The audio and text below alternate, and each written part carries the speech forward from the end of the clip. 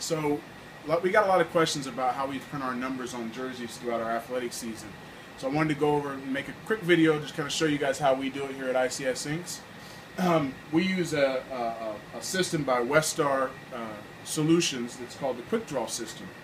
Basically what it is, it's a master frame. It has uh, individual frames that contain each number and you just sort of swap them in and out depending on what number you, you want. In this case, we have a, um, we're printing 8-inch numbers on the back of these jerseys. We've already printed the front numbers and the front logo previously.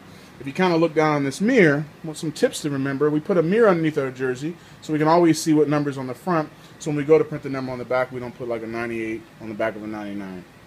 Uh, another tip is we try to keep keys uh, available right in front of us so when we're working, in this case we have all the numbers that we use, and with a, just a piece of tape, we just move them up and down depending on what number we are, so we can remember what number we need to put on, what number we did last.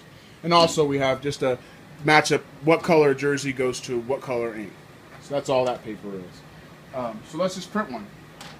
On the back of each of these screens, we previously coded them, and we kind of learned that lesson. We, we coded them initially. They're, they come as a 110. We coded them initially the first time we used it, which is a single coat on, on each side.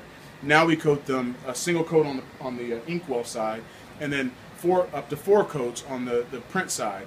Over the course of four days, you know, print, you know, coat then dry, then coat then dry, then coat then dry, and that builds up an extensile thickness that's thick enough that we get a really contrast, high contrast print with just one one pass, no flash. So let's take a look.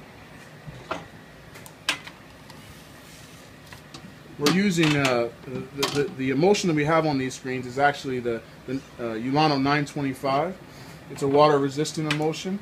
and we're using uh, uh Union's uh, ATHP 1070 white, which is basically just a, a high plastisol based white, or a high uh, poly based low bleed white. So let's take a look, put it on the dryer if you look, by screen printing them, you get all the performance of the, of the garments. We don't cover any of the holes. The garment breathes nicely, and, and that, that print is nice and uh, will last a long time. Also, the question is, if we were to flash these, then all those holes would be plugged with all that extra ink. By not flashing them, we can pull those holes out as we go. We found out the hard way that if you put a couple pieces of paper down under each each uh, jersey when you're printing, then you can just pick up that mess after you're done, and, and peel it away and in this case throw it in our handy box over here. When you're done and you're ready for the next one, you just take another couple scraps of paper. As you can see, these are these are catalogs or magazines that we just had in the shop. A quick spray tack, and then you just load the next garment.